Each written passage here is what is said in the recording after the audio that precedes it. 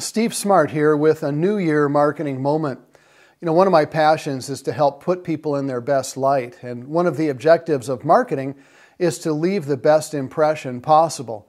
Well, that's why I want to take just a minute and remind you to change the date at the bottom of your website, and if you're doing email marketing, change the date at the bottom of your emails as well.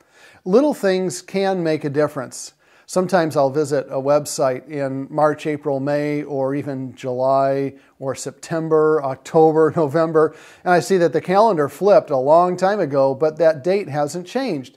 And sure, it's a little thing, but it leaves an impression, and I wonder is anybody paying attention?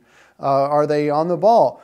However, when I go to a website in January and I see that they have changed the date, well, that tells me that the lights are on, people are home, and they're cooking up some good stuff in the kitchen. It leaves a much better impression. Well, that's one easy thing that you can do to make yourself look better, and one simple thing you can add to your January 1 to do list. Well, I hope that helps you. This is Steve Smart, the marketing guy.